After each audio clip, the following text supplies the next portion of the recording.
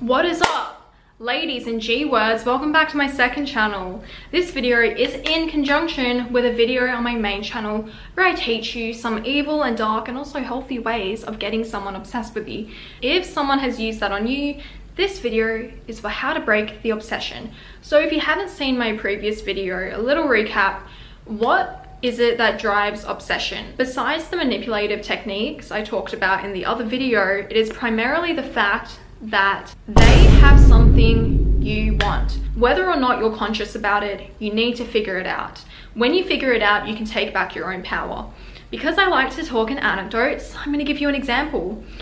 There was this guy, and I knew he did not fit into my mold of what I wanted in a man. Yet, I was obsessed with him.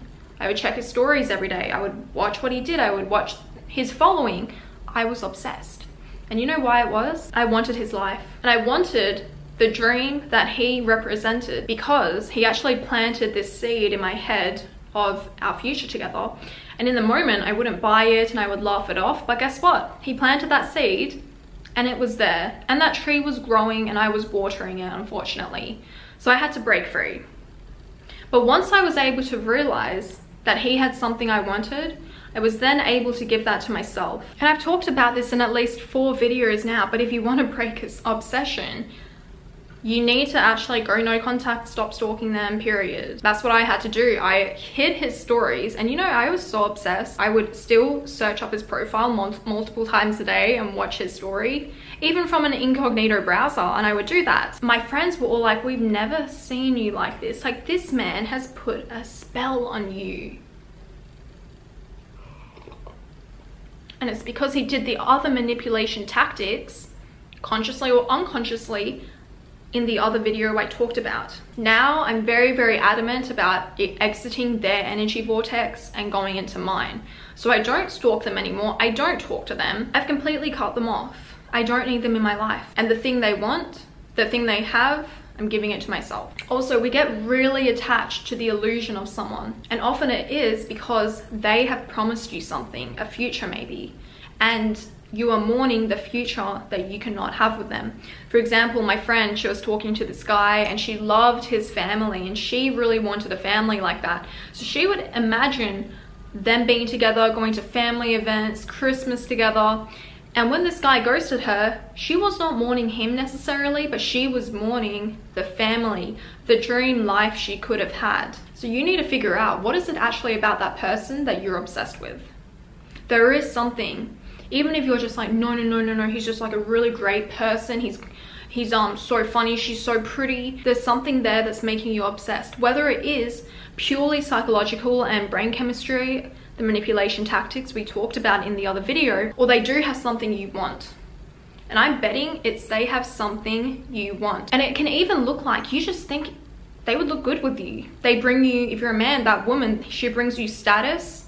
She's gorgeous. She, she just looks good with you. You like to talk to her maybe. She has beauty and that's what you want. She has beauty, status, and you want that. Maybe that man has money and stability and that's what you want. In order to take the power back, the ball in your own court, you need to figure out what are your unconscious desires that are making you obsessed with that person. Take your energy back, cut them off, watch my video on this channel on how to make your energy powerful and that's when you're going to attract everyone. And guys, if you need help with overcoming obsession and your energy is just scattered everywhere and you can't stop, you need a therapist. You need to build your own garden, babe, and you need to get psychological help. So thank you to BetterHelp for sponsoring this video. BetterHelp is the world's largest online therapy service. They have over 30,000 licensed therapists in their network ready to help you with whatever you need. All you need to do is fill out a questionnaire and within usually 48 hours, BetterHelp will have matched you to the perfect therapist suited for your needs. If you don't like your therapist, because it is like dating, you can simply simply request a new therapist and then you can choose afterwards which therapist will be best suited to you. That's what I did. My first therapist was not suited to me at all. My second, she's great. She's the one who helped me overcome depression, taught me about like CPTSD, nervous system regulation, and she helped me uncover all of these childhood patterns. And you can do it all from your phone or your computer. And after when you've been matched with a therapist, you can then schedule a video call, call, or messaging session with them. And what I love is you can also message your therapist whenever you want. And when I went through a really tough time in my life, it was just really great to know that I could message her and she was there. So let BetterHelp connect you to a therapist that supports you, all from the comfort of your own home. Visit betterhelp.com slash to get 10% off your first month of therapy today. I want to add that it's actually incredibly dangerous to make someone obsessed with you and to be obsessed with someone. I mean, there are of course different levels of obsession. We have the stalker level of obsession where, side note, but let's go a little bit deeper into your obsession psychology with stalkers. But why do stalkers get obsessed? besides them being mentally ill, it's usually because they've painted a picture of their life with you and they're living in this delusional reality. Summer Mckeen, she talked about this. She had a stalker who believed that they were like together. He would send her Valentine's Day gifts and love letters. And I even had a guy messaging me like that. And he thought every single YouTube video I posted was about him. Every story I posted was directed towards him. I never replied to him because I never would entertain it. Uh, you can't reply to a stalker. You can't feed into someone's obsession like that. So I blocked them. But again, they're missing something from their life. They see it in your life. And if they're mentally ill, they're to paint that picture and actually believe it. But an exercise I want you guys to do, think about in what ways you're obsessing over them. Are you excessively checking their activity? Who are they following online? What are they doing? You need to stop. You need to actually cold turkey cut that behavior off. And you need to get a job. You need to get a hobby. You need to bring that energy and focus it onto yourself. Unemployed activities, man. Think about all those hours you spend thinking about them, obsessing over them, manifesting them, that you could spend onto building your own life. Because remember, they have something you want. Have it for yourself. And I bet you that person probably isn't even that great.